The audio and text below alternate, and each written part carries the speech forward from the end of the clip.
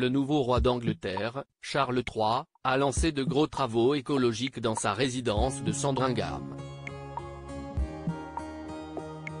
Comme le rapporte le magazine Hello. Ce dimanche 12 février, il s'agit de son premier grand changement depuis le décès de sa mère Elisabeth II.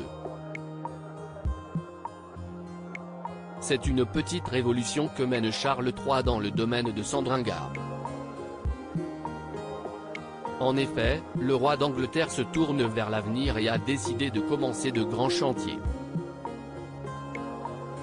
Il faut dire que depuis son accession au trône, nombreux sont les citoyens anglais qui attendaient avec impatience de découvrir les premières mesures que prendrait le nouveau roi.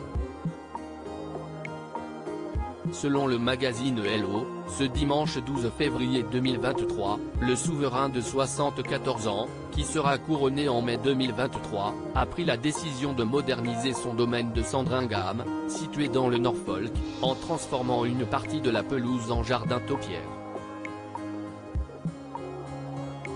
Cette décision est motivée par les conditions météorologiques qui ont affecté la pelouse ces dernières années.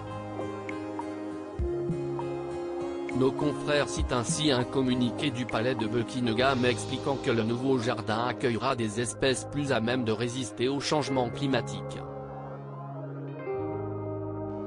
D'autres projets à venir ces dernières années, en raison de l'évolution des conditions météorologiques, l'étendue actuelle de la pelouse a été affectée par le temps chaud et les pluies excessives, dévoile ainsi le communiqué.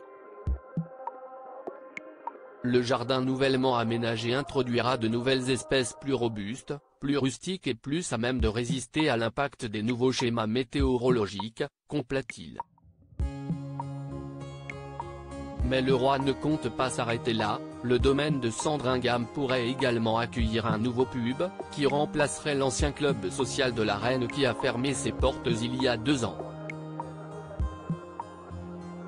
La couronne a l'intention de louer le bâtiment vacant pour lui redonner une nouvelle vie, offrant une opportunité unique au nouvel occupant qui saisira cette chance.